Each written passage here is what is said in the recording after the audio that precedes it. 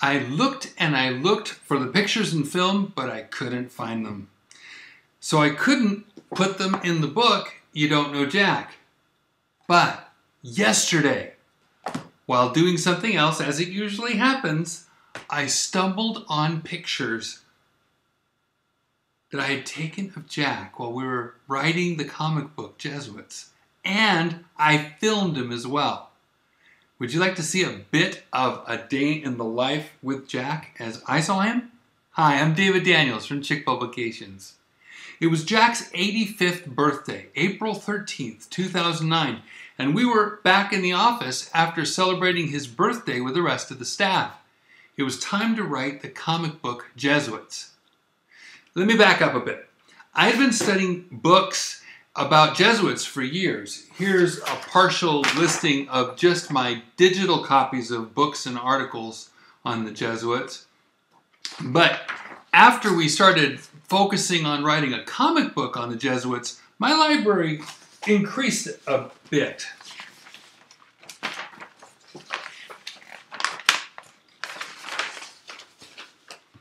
I even found early on the Secreta Monita, secret instructions given to the Jesuits.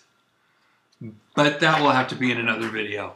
But of all the books I was able to find, left and right, Jack and I needed one in particular the Constitutions of the Society of Jesus, the very instructions given by Ignatius of Loyola and written down in 1558. Many people have written about it, but I couldn't find it anywhere for over a year. Then one morning I was praying in my devotions, and the Lord spoke into my heart Look for it in Latin. Great, I don't read Latin, so I took the words apart and looked for Constitutiones Societatis Jesu. And there it was, in Latin. Great. Well, I had a program that translated one word at a time. This is before Google Translate. But at least I had it and I set to work. I downloaded the book and then started searching it. When I got to the middle, I saw the second half was all in English. Praise God. But was it accurate? With my linguistic background, it sure looked like the English was a wooden translation of the literal Latin. But that was an important question, and so I prayed to God. You know how God answers one prayer while you're busy doing something else? That's what happened here.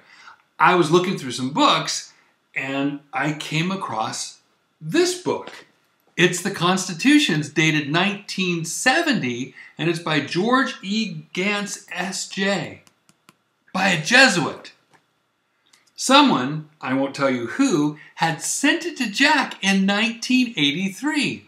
And wait till you hear how the sender got it. Here's some of what he wrote in the book for Jack.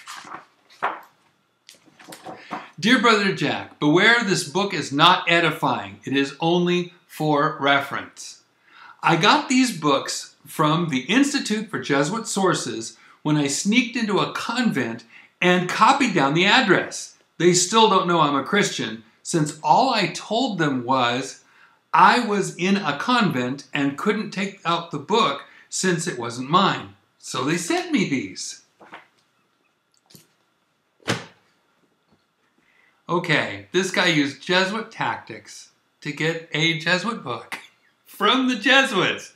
Priceless. So now I could compare them. And they seem the same, except the Jesuits had all sorts of extra footnotes. But could I be sure? I didn't have to look as hard as I thought. On pages 56 to 57, Jesuit Ganss talks about the 1838 Latin text in English translation. He summed it up in four words. The translation is accurate. There you go. So, we set to work. I read the constitutions to Jack from beginning to end. We made piles of notes. And I found an English translation of Ignatius' own testimony told by Ignatius, and we added that information. In fact, we didn't read much by anyone but actual Jesuit writers or Ignatius himself. And that's how I got to correct a lot of the errors people make when talking about the Jesuit order. I could have written a book, but a comic format with the information made simple and sources and footnotes for the reader seemed the better option. We wanted to communicate, and we make comic books and tracts, not ivory tower treatises. Back to Jack's 85th birthday. After all the work of researching, we need to have a story. And this is one Jack wanted me to write. So, as I said in the book on Jack, he told me to be producer, director, screenwriter, the works. So we prayed, and a scenario was clear before my eyes, and this is the very first page, the way I acted it out. First, we would write and draw it on the whiteboard. Then, Jack or I would write it down on paper. I have to admit, I had fun being the photographer here. That's Jack's hand right there. See? There you go. But that wasn't enough. I had to film it as well. This is how you spend your 85th birthday. Yeah.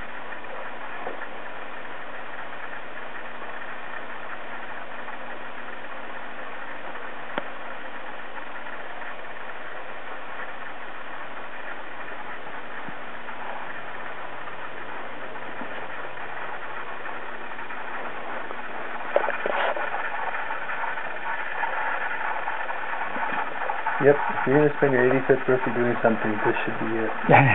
yeah. Yeah, they're all gathered around there. Mm-hmm. Boom! The door's breaking open. Crash!